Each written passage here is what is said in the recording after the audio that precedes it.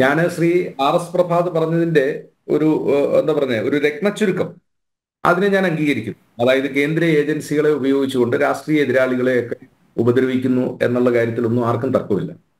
ഇവിടെ ശ്രീ രാഹുൽ ഗാന്ധിക്ക് E D notice കൊടുത്തു. അദ്ദേഹത്തെ അൻപത്തിയഞ്ച് മണിക്കൂർ ചോദ്യം ചെയ്തു. അദ്ദേഹം ചോദ്യം ചെയ്യലിന് വിധേയനായി നിയമത്തിന് വിധേയനായി. ശ്രീമതി സോണിയാഗാന്ധി കോൺഗ്രസിന്റെ അധ്യക്ഷയും വന്ധ്യവയോധിയായ നേതാവാണ്. അവർക്കെതിരെ ആരോപണം ഉന്നയിച്ചു. അവർ പന്ത്രണ്ട് മണിക്കൂർ നേരം ഇ ഡിയുടെ ചോദ്യങ്ങൾക്ക് കൃത്യമായ മറുപടിയും അവരുടെ ഭാഗം തെളിയിക്കാനുള്ള വാദഗതികളും അവിടെ അവരുയർത്തി ഇവിടെ എന്താ സ്ഥിതി വിശേഷം? ഇവിടെ ഒരാൾ നിയമത്തിൽ നിന്ന് ഒളിച്ചു ഒളിച്ചോടുന്നു ഇപ്പോ ബഹുമാന്യ നമ്മുടെ ഹൈക്കോടതി മുമ്പാകെ ഈ കേസ് വന്നപ്പോ ഹൈക്കോടതി ചോദിച്ച ഒരു ചോദ്യമുണ്ട്. എന്തായി ഒളിക്കാനുള്ളത്? അതാണല്ലോ നമുക്കറിയേണ്ടത്. നിങ്ങൾ എന്തിനാണ് ഇപ്പോൾ സ്റ്റേ ആവശ്യവുമായിട്ട് വന്നിരിക്കുന്നത്? ഇതിൽ കൗതുകം ലക്ഷ്മി ഈ സ്റ്റേ ആവശ്യവുമായിട്ട് ആദ്യം പോകുന്നത് K S I D C ആണ്. K S I D C എന്ന് പറയുന്ന ഒരു പൊതുമേഖലാ സ്ഥാപനമാണ്. അവർക്ക് സി എം ആറിലുള്ള ഷെയർ എന്ന് പറയുന്നത് തേർട്ടീൻ പോയിന്റ് ഫോർ പെർസെന്റ് ആണ്. അതായത് പതിനാല് ശതമാനത്തിൽ താഴെ മാത്രമാണ്. ബാക്കി എൺപത്തിയാറ് ശതമാനം ഷെയർ പുറത്താണ്. അപ്പോ ഈ K S I D C C S വൈദ്യനാഥന്റെ പോലെ അൻപത് ലക്ഷം രൂപ ഇരുപത്തഞ്ച് ലക്ഷം രൂപ ഒരു സിറ്റിങ്ങിന് രണ്ട് സിറ്റിങ്ങിന് അൻപത് ലക്ഷം രൂപ വക്കീൽ ഫീസ് കൊടുത്ത് ഡൽഹിയിൽ നിന്ന് ജയശങ്കറിന്റെ വാക്കുകളെ കടമെടുത്ത ഈ കൊടി കിട്ടിയ വക്കീലിനെ കൊണ്ടുവന്ന് ഈ ഒരു പൊതുമേഖലാ സ്ഥാപനത്തിന് ഈ എന്താണ് അവരുടെ അതാണല്ലോ ഈ- ഈ വിഷയത്തിന്റെ ഒരു ഗൗരവം അതാണല്ലോ. അതല്ലാതെ ഇ ഡി അവിടെ വരുന്നു ഇവിടെ ഹേമന്ത് സോറിനെ പിടിക്കുന്നു അല്ലെങ്കിൽ മുമ്പ് ഷിബു സോറിനെ പിടിച്ചിട്ടുണ്ട് അതല്ല എങ്കിൽ ശിവകുമാറിനെതിരെ അന്വേഷണം നടക്കുന്നു ഇല്ലെങ്കിൽ മുൻ ആഭ്യന്തരമന്ത്രി പി ചിദംബരത്തിനെതിരെ അന്വേഷണം നടക്കുന്നു. അതൊക്കെ ശരി. പക്ഷേ അവരാരും നിയമത്തിൽ നിന്ന് ഒളിച്ചോടുകയോ അല്ലെങ്കിൽ ഞങ്ങൾ നിയമത്തിന് കീഴടങ്ങുകയോ ഇല്ല എന്ന് അവരാരും പറഞ്ഞിട്ടില്ല. ഇവിടെ കൗതുകകരമായ ചില വിഷയങ്ങൾ. നമ്മൾ എന്നും കേൾക്കുന്ന വാർത്തകളിലും ചർച്ചകളിലും ഒക്കെ കേൾക്കുന്ന പദങ്ങളാണല്ലോ. മടിയിൽ കനമില്ല. അതുകൊണ്ട് വഴിയിൽ ഭയപ്പെടേണ്ട ആവശ്യമില്ല. രണ്ട് എന്താ പറഞ്ഞ പണത്തിനോട് അമിതമായ ആർത്തി ഉണ്ടാകാൻ പാടില്ല. അത് ഉറക്കം കെടുത്തും സമാധാന ജീവിതം ലംഘിക്കും. ഇതൊക്കെയാണല്ലോ നമ്മളിപ്പോ അന്തരീക്ഷത്തിൽ മുഴങ്ങി കേൾക്കുന്നതും നേതാക്കന്മാരുടെ പ്രസ്താവനയിൽ കേൾക്കുന്ന വാക്കുകളൊക്കെ. അപ്പോ ഇവിടെ ആദ്യത്തെ ചോദ്യം പതിനാല് ശതമാനം സി എം ആറിൽ ഓഹരി മാത്രമുള്ള K S I D C അൻപത് ലക്ഷം രൂപ വക്കീൽ ഫീസ് കൊടുത്ത് എന്താവശ്യത്തിനാണ്? അവർ കേരള ഹൈക്കോടതിയിൽ പോയി ഈ അന്വേഷണം എസ് എഫ് ഐ ഒയുടെ അന്വേഷണം അടയണം എന്നാവശ്യപ്പെട്ടുകൊണ്ട് എന്തിനു വേണ്ടിയാണ് അവരവിടെ പോയത്? അതിന്റെ മോട്ടിവേഷൻ എന്താണ്?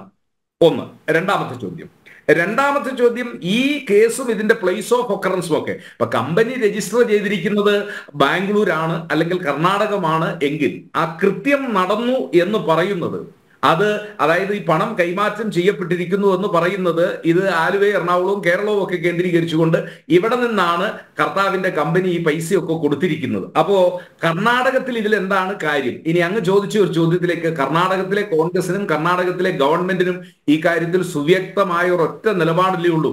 അതാണ് കേരള ഹൈക്കോടതി ചോദിച്ച ചോദ്യം. ഇതിൽ എന്തെങ്കിലും ഒളിക്കാനുണ്ടോ? എന്തെങ്കിലും മറയ്ക്കാനുണ്ടോ? നിശ്ചയമായി ഒളിക്കാനുണ്ട് മറയ്ക്കാനുണ്ട് എന്നുള്ളത് കൊണ്ട് തന്നെയാണല്ലോ ഇപ്പോൾ വളരെ വേവലാതിപ്പെട്ടുകൊണ്ട് മനു പ്രകാശ് കുൽക്കർണി എന്ന് പറയുന്ന പ്രശസ്തനായ അഭിഭാഷകൻ. അദ്ദേഹവും മണിക്കൂറുകൾക്ക് ലക്ഷങ്ങൾ ഫീസ് മേടിക്കുന്നയാളാണ്. അദ്ദേഹം ബഹുമാനപ്പെട്ട കർണാടക ഹൈക്കോടതിയിൽ കേസ് ഫയൽ ചെയ്തിരിക്കുന്നു.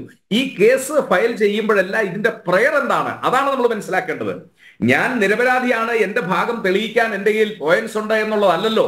അന്വേഷണത്തെ തടസ്സപ്പെടുത്തണം. അന്വേഷണം വരാൻ പാടില്ല. എന്റെ വീട്ടിലേക്ക് വരാൻ പാടില്ല. എന്നെ അന്വേഷിക്കാൻ പാടില്ല. അങ്ങനെ ഒരു പ്രിവിലേജ് ക്ലാസ് ആയിട്ട് കേരളത്തിന്റെ മുഖ്യമന്ത്രിയുടെ മകൾക്ക് മാറാൻ പറ്റുമോ നമ്മൾ എലിസബത്ത് രാജ്ഞി മരിച്ചപ്പോ കേട്ടു. എലിസബത്ത് രാജ്ഞിക്ക് ഏതാണ്ട് അറുപതോളം രാഷ്ട്രങ്ങളിൽ പോകുന്നതിന് വിസയോ അല്ലെങ്കിൽ പാസ്പോർട്ടോ ഒന്നും വേണ്ട എന്നുള്ളതാണ്. കാരണം അവർക്ക് ഇമ്മ്യൂണിറ്റി ഉണ്ട് പ്രിവിലേജ് ഉണ്ട്.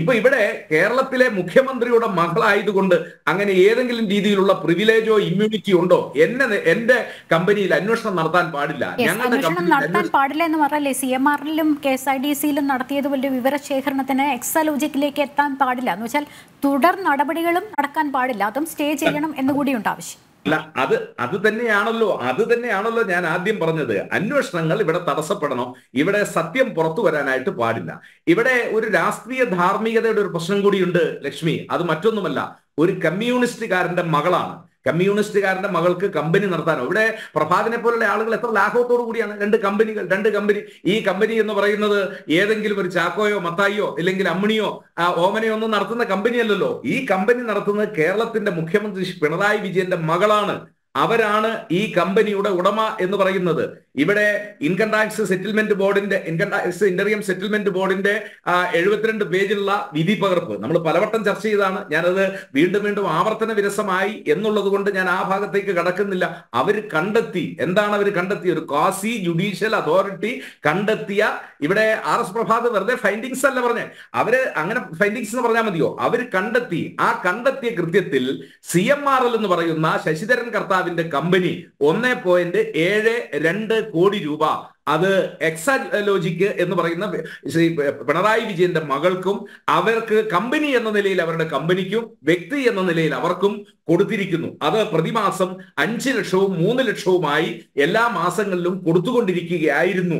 ആ കൊടുത്തത് എന്തിനു വേണ്ടിയാണ്? ഒരു സേവനവും ലഭ്യമാക്കിയിട്ടില്ല എന്ന് എഴുപത്തിരണ്ട് പേജ് വരുന്ന വിശദമായി ഈ തെളിവെടുപ്പിന് ശേഷം income tax interim settlement board കണ്ടെത്തിയപ്പോ നമുക്ക് ചോദിക്കാനുള്ള നമ്മൾ എന്താ പറഞ്ഞ ലേമാൻ എന്ന നിലയിൽ അല്ലെങ്കിൽ കോമൺ പീപ്പിൾ എന്ന നിലയിൽ നമുക്ക് ചോദിക്കാനുള്ള ചോദ്യം എന്തിനു വേണ്ടിയാണ് ഒന്നേ പോയിന്റ് ഏഴ് രണ്ട് കോടി രൂപ ഈ സി എം ആർ എൽ എന്ന് പറയുന്ന കർത്താവിന്റെ കമ്പനി ഈ മുഖ്യമന്ത്രിയുടെ മകൾക്ക് കൊടുത്തത്?